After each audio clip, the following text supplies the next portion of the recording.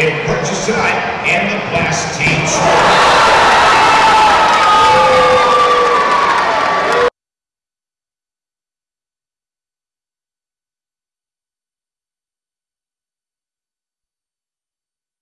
Conduct.